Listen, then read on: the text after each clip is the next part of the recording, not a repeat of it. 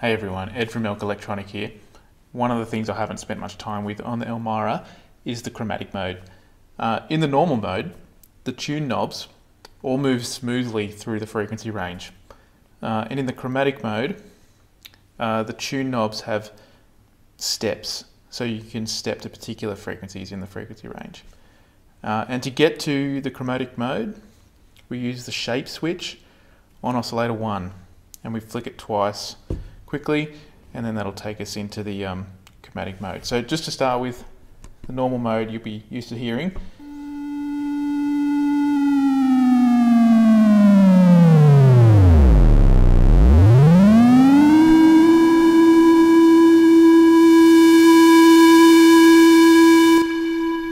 So it has um, yeah, really smooth transitions through the frequency range. So if we flip the, the shape switch, now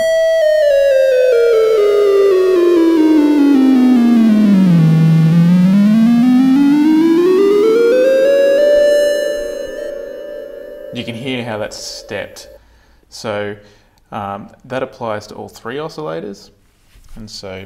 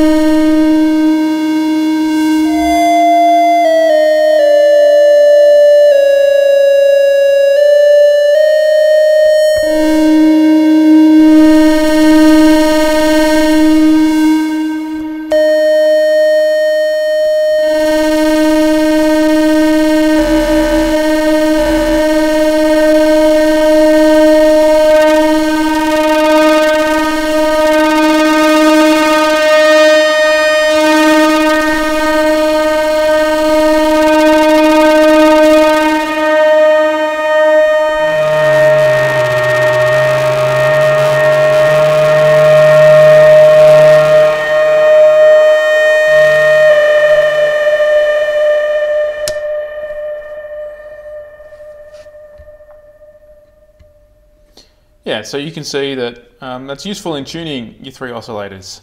Um, so it can be a useful little tool.